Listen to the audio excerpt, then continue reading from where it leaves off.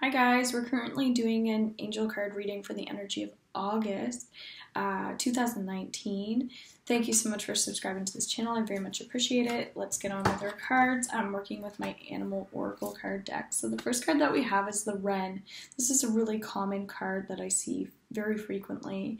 Um, it's um, someone being really hard on someone else and it's it's the energy of just being kind and really focusing on the really really really simple and basic things in life. So making sure that you're working on moving forward and pushing ahead even if times are a bit rough then we have the card boar. So this is about taking time for yourself. Maybe it's solitude, or maybe it's actually just going out and doing something fun with friends that's still for yourself. So making sure that you're connecting to um, your spiritual energy, loved ones that have passed away.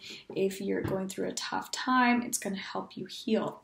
Then we have the eagle card. This is about being different than other people and being around other people who are different as well, making sure that we're able to collaborate more and come together rather than isolate, even though you may not be feeling like you you know how to uh, function the way you want to. It's just about making it work and just finding that sense of self again. So maybe you need reassurance at this time maybe you don't, but there's a good chance you're going to need that time for you so that you can get back to those basic things that are so important in life, okay? So I hope that you enjoyed this and I hope that you have a lovely day.